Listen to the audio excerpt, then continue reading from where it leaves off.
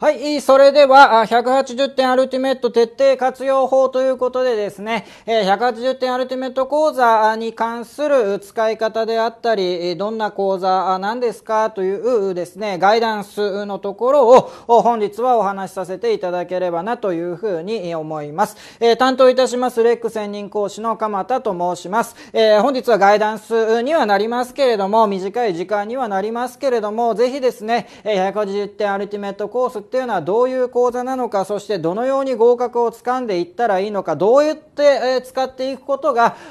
合格のため180点アルティメット講座をですね、有効に使うことができるのかというところをお掴んでいただければと思います。まず、一番最初にですね、180点アルティメット講座についてのお話をしていくんですが、そもそも180点アルティメット講座っていうのはどんな講座なんでしょうというところですですね。180点アルティメット講座とはと書いてありますけれども、180点アルティメット講座のコンセプトとしてはですね、最小限の知識のインプット、プラスアルファかけるですね、えー両門によるアウトプット。インプットっていうのは、あ知識を頭の中に入れる。さらに、えーアウトプットっていうのは頭の中に入れた知識を自分で考えながら吐き出してみるというう学習ですね。えーまあ、法律学習に限らず、どのような学習でもそうですけれども、頭の中に入れる。そしてそれを実際に自分で考えてやってみるという過程を通じることによって知識が定着してくる。野球とかもスポーツとかもそうですよねと。スポーツとかの知識を見てるだけだと全然うまくならないんですと。実際に自分の知識をもとにこういう風に投げたらスピード球が速くなるとかですね、そういった知識をアウトプット、自分で出してみる、やってみるということによって初めて能力が上がってきますから、180点アルティメット講座では、そういった、インプットとアウトプットを効率よく行うことによって合格をつかんでいきましょうというところですね。ねえ学習のポイントというのは、試験に出るところに重点を置いた効率的な学習になってくると。試験に出ないところをですね、いくらやったってそれは得点につながらない。ただただ時間の無駄になってしまいますから、できる限り試験に短期で合格するというためには、出るところに重点を置いた効率的な学習が必要になってきますよと。さらに、それを頭の中にインプッとしただけでは本番で問題解けるようにならないということは点数がつかないということは合格できないという話になってきますから、試験本番で使える知識として定着させるために問題演習をこなしていきましょうよというところですね。えー180点アルティメット、アルティメット、おまあ、お名前立派ですよね。究極ですよね。えー究極的に、効率的に、合格を目指していきましょうということで、えー180点アルティメット講座は問題演習を通じた重要テーマのインプット、プラス両門による問題演習を通じて、えー効率的に合格をつかむことを目的としている講座になりますよというところですね。えここにあるように、試験の合格、知識の得点を上げるという意味においては、ただただ私の講義を聞いたりして知識をインプット頭に入れるだけではなかなか得点が上がっていかないというところになりますから、あ基本講座とは違ってですね、え180点アルティメット講座っていうのは問題演習が非常に重要、中心になってきますよと。インプットについてもですね、知識の確認にについても、問題演習を通じて知識のところを確認をしていくというところになっていますので、えー基本講座ですね、パーフェクト講座などの、えーインプットを中心とした講座よりかは、あちょっとクロート向けですね。ですから、学習経験者向けの方の講座にはなっていますと。ただですね、えー私は、あー副あの予習のところで知識はあちょっと入れていくからあ頑張るから問題演習をして問題演習することで得点ぐんと伸びてきますからあ早く合格したいわという方はちょっと頑張ってみていただいてもいいという講座ですね。いずれにせよ問題演習が中心になってくる試験合格のためには知識を入れるだけではなくてそれを本番の問題で対応できるようにしなければいけないわけですから問題演習を中心としてえ効率的に最小限のインプット知識の確認両門によるアウトプットで効率よく合格をつかんでいきましょうというのがコンセプトになっていますと。そして、ここにちょっと合格までの筋道ということを書いておきましたけれども、これから180点アルティメットの徹底活用法ということで、どうやって使っていったらいいんでしょうかというようなことをお話ししていく前にですね、そもそも180点アルティメットっていうのは、どういったった全体像に合わせた講座なのかというところも把握しておいていただく必要性がありますのでちょっとですね合格までの筋道というところで、え、図を作ってみましたと。法律の知識っていうのは皆さん図を見ていただいてお分かりのように最初は全然得点というかあ能力上がってこないんですと。すでに法律を学習された方だとちょっとお気づきになっていると思いますが法律っていうのは単元単元ごとの知識を入れたとしても問題が解けるとは限らないと。法律は憲法を頂点として有機的に絡み合っている他のテーマのお話が今学んでいるテーマのところで前提になってたりするわけです。ですから法律全体の知識がついてから初めて法律というものが実際に使えるようになる問題が解けるようになるという特徴を持っていますから法律、皆さんが本番の試験で学習するにあたっても、憲法、民法、行政法、商法、会社法、法令科目ありますけれども、かなり多いんですと、その全体像を把握すると、地盤を作るというだけで結構時間がかかりますから、最初なかなか伸びてこないわけですね、得点が。あそして、えある程度のところまで、え来ると、一気にぐんと得点が上がってくるようになる。これは何でかというと、法律の全体像が分かってきて、ああ、そういうものなのね、というのが分かってくるからですね。そして、分かった上、法律というもの、外国語というものが分かった上で、いろいろな英語の文章、いろいろな問題というものを解いていくからこそ、得点がぐんぐんぐんぐんぐんぐん上がってくるんですね。ですから、法律っていうのはなかなか最初は能力上がらないけれども、ぐんと能力が上がってくるという特徴がある。そして、勉強しなくなったら一気にガクンといくと。ですから皆さんとしては効率的にですね合格に達するレベルまでぐんとレベルを上げる必要性があるというところですね。えですから、この図の流れに沿っていくと、まず一番最初はですね、皆さん何も知識が入っていない段階から学習するわけですから、法律というものはどんなもんなんだろうかという法律の木があるとしたら、合格のために必要な知識量の木があるとしたら、まずはその幹となる法律っていうものはどんなもんなんだろうかっていうことを理解する時間が必要になってくるわけですね。そして法律というもののはこういうものものなのかそういうふうなものなんだなって分かってきたらそれがその知識をどんどんどんどんプラスアッププラスアルファしていってですね木の輪郭となるものができてくるとそしてその木の輪郭ができて細かい葉っぱの知識であったり本番の問題に対応できるような知識がついて初めて合格というものが見えてきますよという筋道をたどるわけですね。ですから180点アルティメットコースはこの合格のために一番必要なここのぐーんと上がってるところですね、をターゲットにして、えー、講座をやっていきますよと。ですから、問題演習を通じて皆さんの能力をぐんと上げる講座ですから、なかなかですね、基本講座とは違って基礎の基礎のようなことはお話しできない、時間にも限界がありますので、なので、えー、もし仮にですね、もうすでに法律を一定程度学んでいるよ、行政書士試験去年受けたよといういうような方はそんなに心配する必要はないと思いますがちょっと今まであんまり法律というものに触れたことないけれどもぐんと能力を上げるために頑張ってみようという方は事前に予習のところでですね知識を入れてきていただく必要性はあるというところを一つ注意いただければというところですね。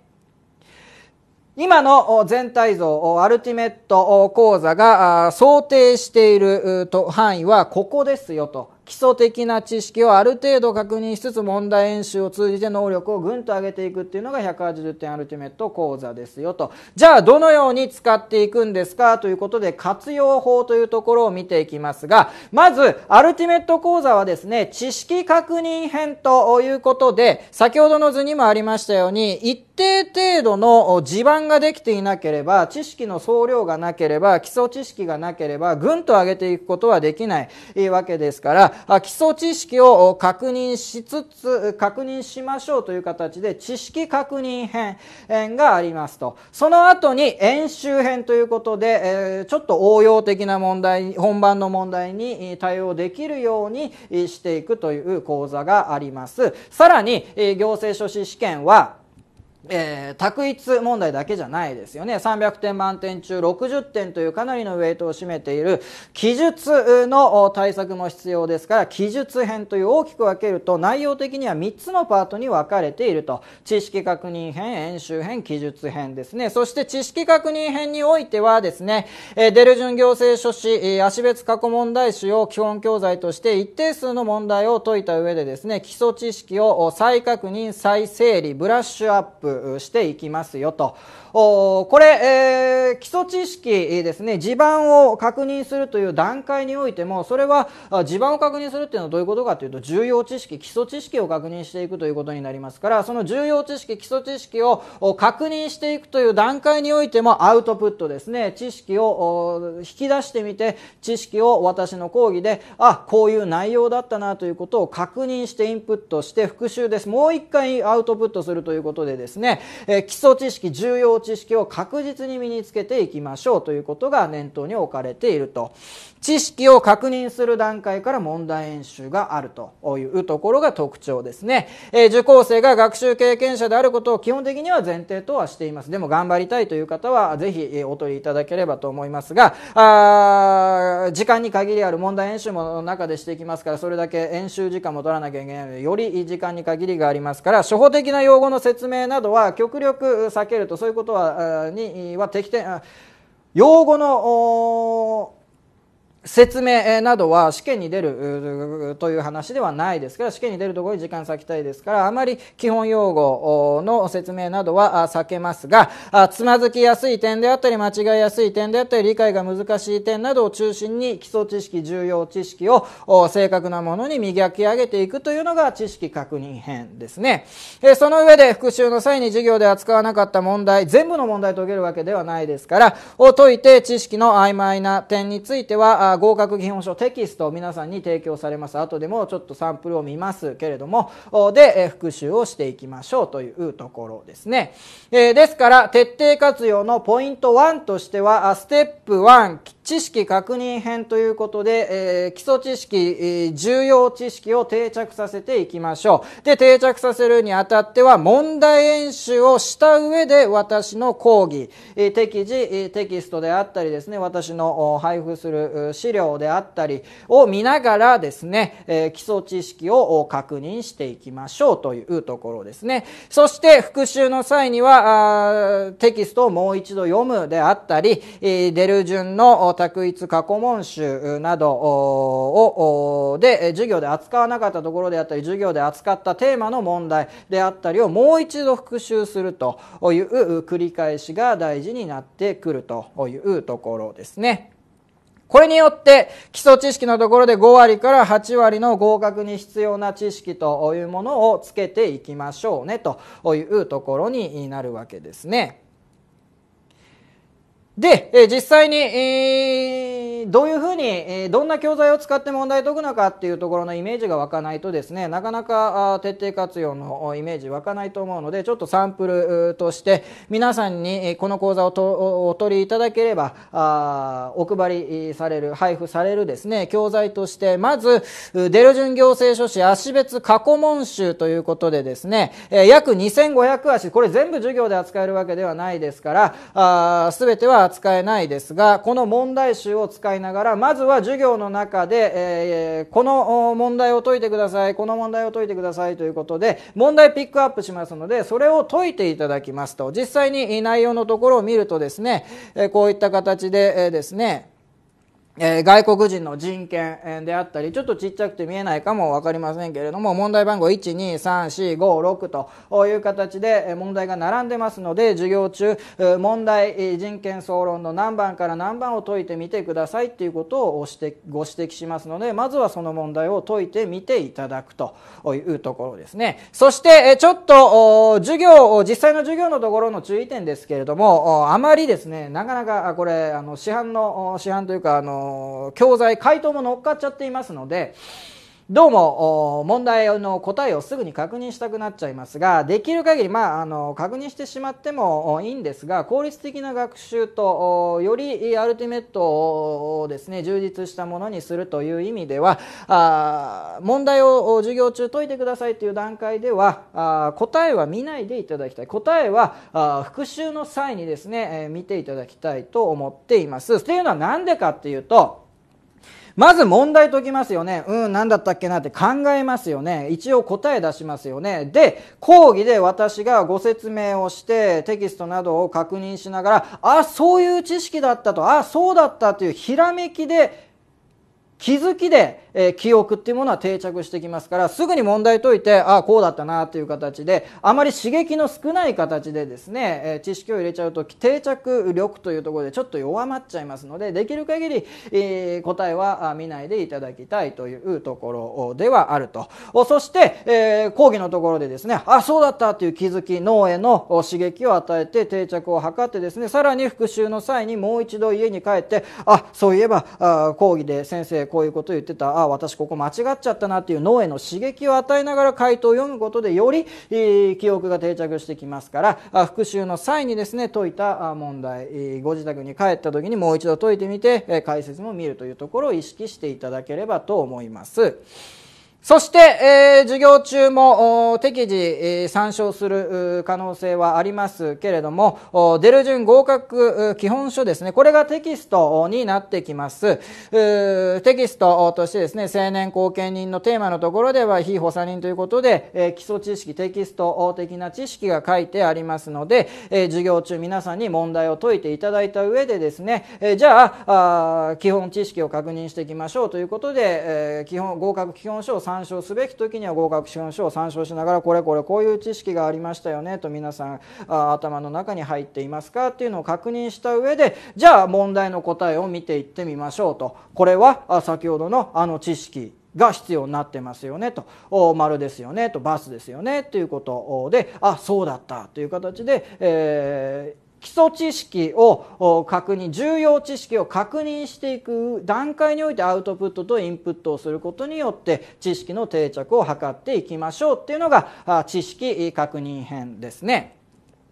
そして、えー、演習編に移ってくると、これは、あくもう試験問題択一式は、条文の知識を問うものであったり、判例の知識を問うものであったり、学説の知識を問うものであったり、事案の分析と条文、判例規範への当てはめを必要とするものなど、条文等の基本的知識に基づく論理的な推論力を行うものなどに大別されますけれども、先ほど見た、あ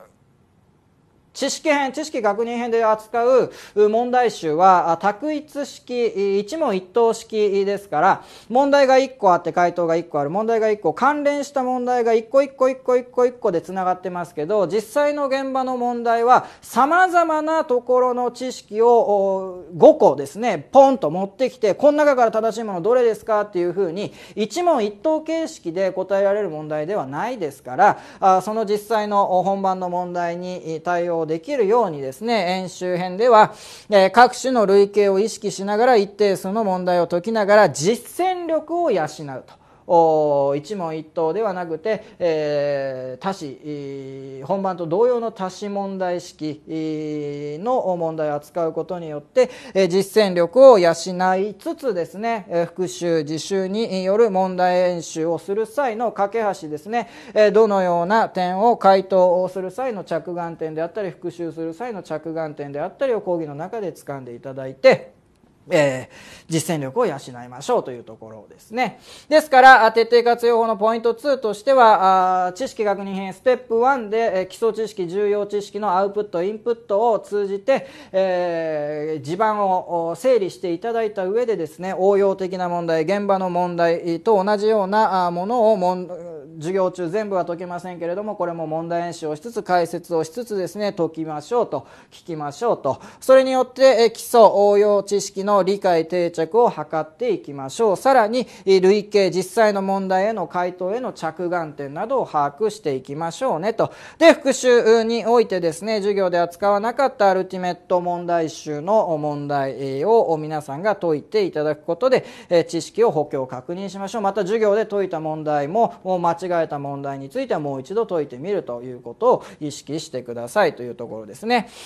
そして、この応用的なところを学習することによってですね、得点力をぐんと現場の問題解けるようにするということで、木を葉っぱを緑を濃くしていくと合格正確な知識法的な知識を養成していきましょうっていうのが演習編のポイント活用法になっているというところですね。で実際の問題これ皆さんスマホなどで見られてると小さくて見えないかも分かりませんけれども実際の問題のようにですね「あいうえお」と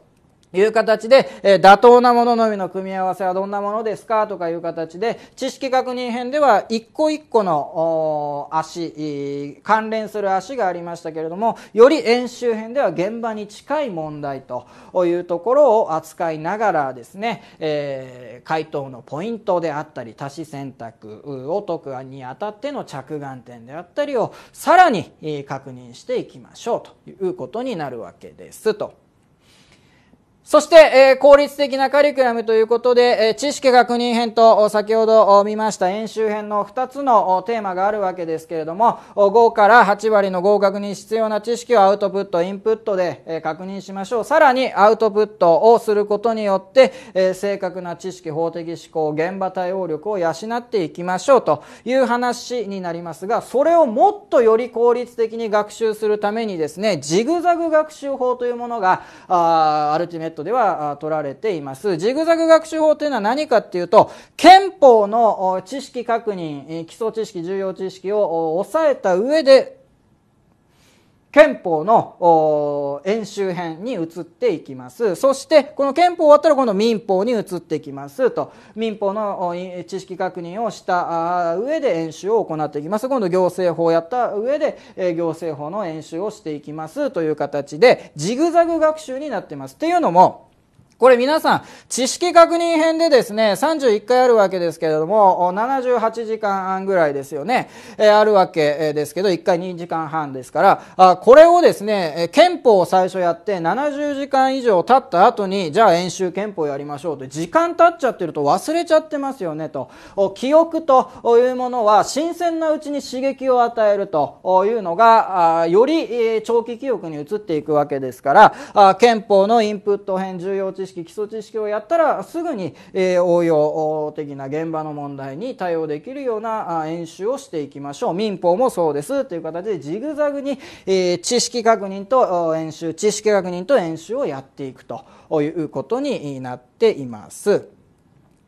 よろしいでしょうか？ジグザグ学習法がアルティメットで取られている。より効率的に能力をぐんと上げていくためにジグザグにやっていきますよと。全部70何時間も経った後に憲法に戻って演習するってなったらこれは非効率性が出てきますからその点は排除した上でジグザグ学習法が取られているっていうのも一つ特徴的なところになっているというところです。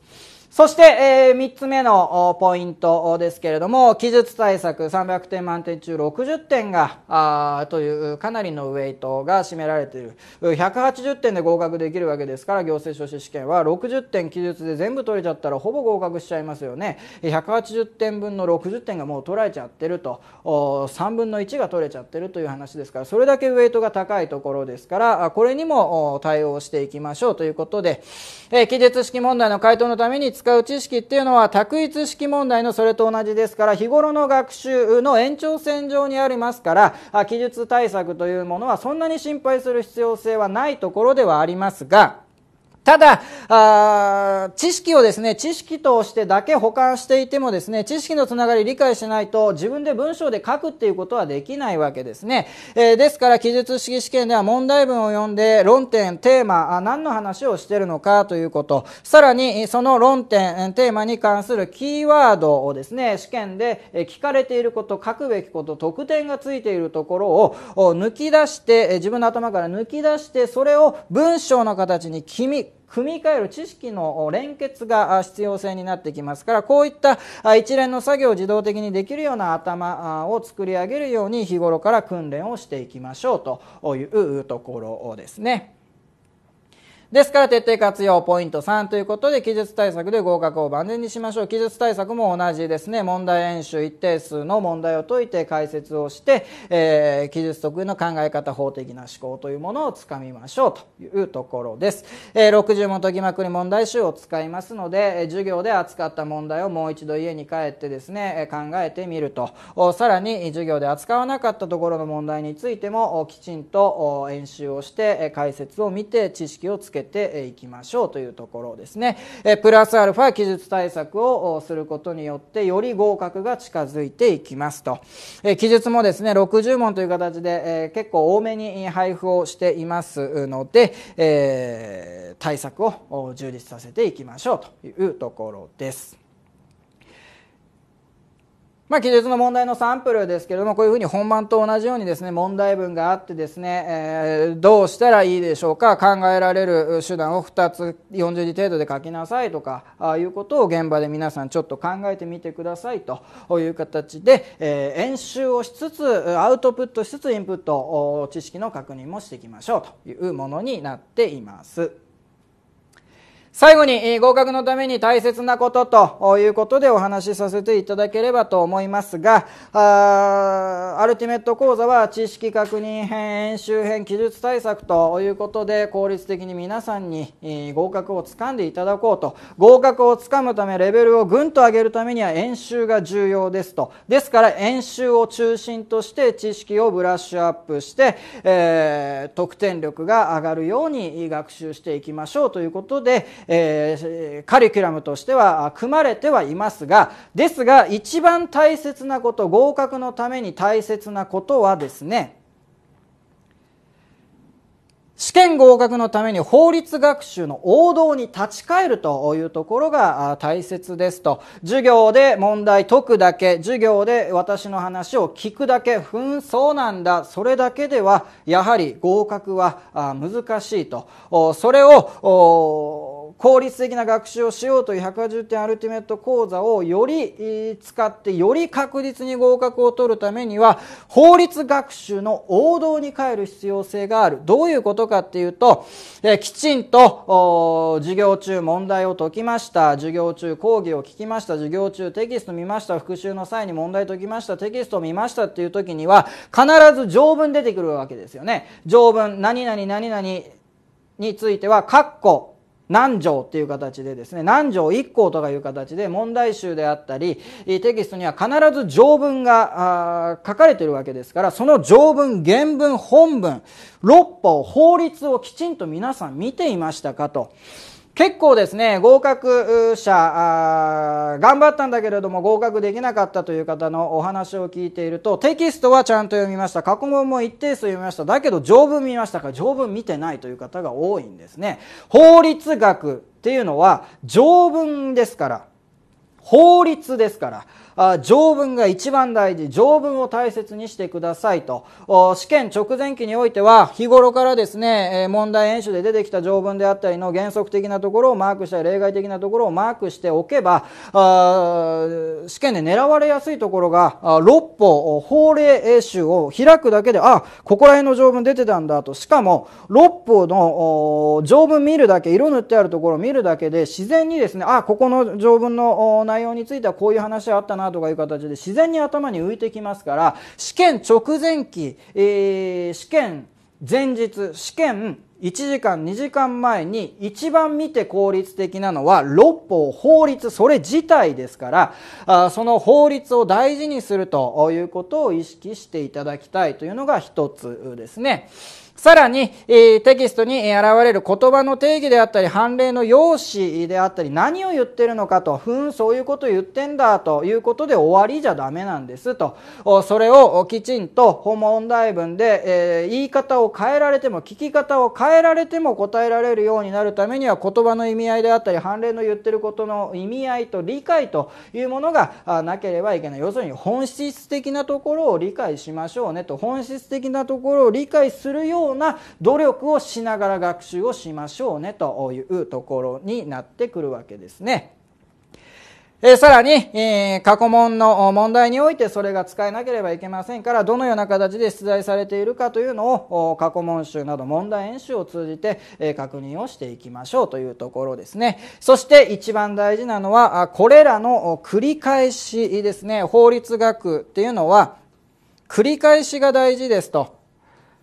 忍耐ですと。法律学習ってのは忍耐なんですと。繰り返すということをどれだけできたかと。広い範囲の知識を頭に入れなきゃいけないわけではない。重要な試験で聞かれる得点につながるところの知識をどれだけ繰り返してどれだけ正確に理解できていたかと。いうところが合格に必要なところになってきますのでこれらの繰り返しを怠らないというところをが一番大事になってきますので意識していただければと思います。ます。えこれらが法律学習の王道ですと、他のことは基本的に行う必要性はありません。これらの王道の繰り返しが合格への近道になるんですよ、というところでですね、本日皆さんに180点アルティメット講座徹底活用法ということでガイダンスをさせていただきました。180点アルティメットコースはアウトプット、知識を確認する段階でもアウトプットをしつつテキストを確認しながら重要な知識大事なテーマというところを確認していく。そしてその知識確認が終わったら即応用的な本番の問題に近い形の演習編を執り行っていく。そこでも問題演習解説を聞くことによって能力を現場での考え方というものを養成していきましょう。ということになっていると。さらに記述のところで合格をより確実にできるように記述にも対応できる頭を作りましょうよ。問題演習を通じてということになっていますよ。と。そして何よりも大事なのがそういうふうに授業で問題演習などをしたと復習の際に自分で問題演習したテキストを見たという時には必ず条文が出てきたら条文を確認する。さらに学習した内容がどういうことなのかという本質を理解しようとしながら学習をすると。で問題を解く際にはどのような形で出題されててどのようなところが言い換えられててどのようなところで引っ掛けようとしてるのかというところを意識しながら学習習すると。こういった条文大切にする意識をしながら学習するということの繰り返しを行っていくということで、えー、合格というものがつかめますので、えー、ぜひですね、これら法律学習の王道に基づいた効率的な学習計画に基づいた講座が180点アルティメット講座になりますので、えー、ぜひ皆様合格というものをですね、私も極力できる限り皆様様が合格できるようにサポートしていきたいと思いますので、えー、頑張っていただければと思います。えー、以上でですね、180点アルティメット講座徹底活用法ということで、私のガイダンスは終了とさせていただきます。えー、皆様お聴きいただいてありがとうございました。